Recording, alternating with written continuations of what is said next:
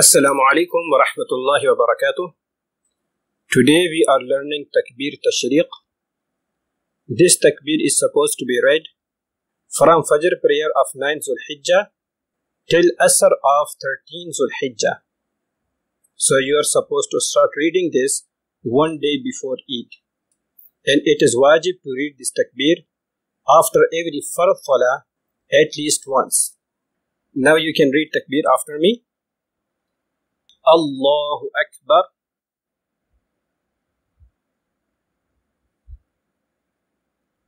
الله أكبر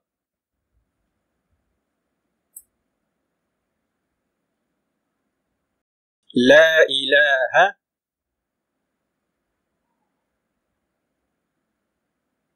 إلا الله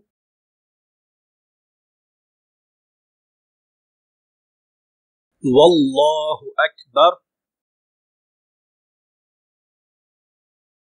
الله أكبر.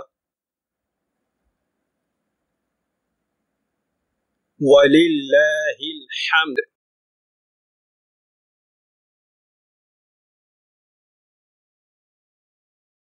الله أكبر الله أكبر. لا إله إلا الله والله أكبر الله أكبر. ولله الحمد.